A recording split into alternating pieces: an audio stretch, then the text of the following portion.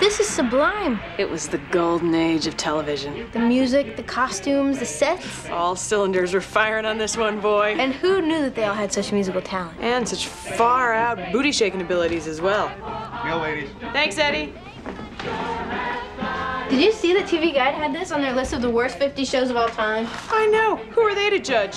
I know, it's in our top 50 best. Yeah, right after Holmes and Yo-Yo and Hee Haw Honeys. Oh, Rory, get back here. They're in clown suits and headed for the pool. Oh my god, Honey, come here. it's here. What's here? My application to Harvard. Oh my God. Oh, it's beautiful. Impressive letter H, huh? Oh yeah, it's so. Very. Can I hold it? Be careful.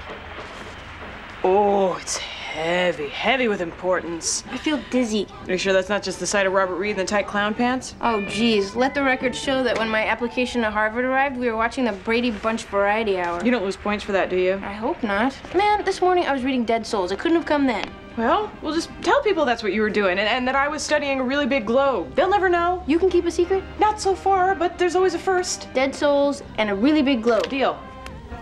No kayaks.